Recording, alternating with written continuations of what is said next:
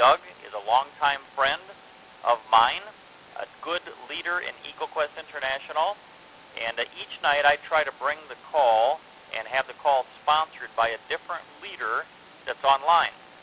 And I tell a little bit about their story.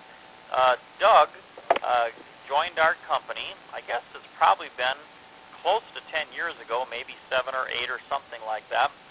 But uh, Doug got a kind of an unusual interest uh, because of his uh, location being in Louisiana and also in Florida. Uh, Doug got very interested in what this technology could do for mold, and he began to see tremendous results uh, with mold uh, destruction in homes throughout the uh, humid south part of the country. And he actually started a company that he calls NORMI. And they work with people to help uh, to do mold uh, work and. And Doug has a great EcoQuest business and a great mold uh, business with EcoQuest.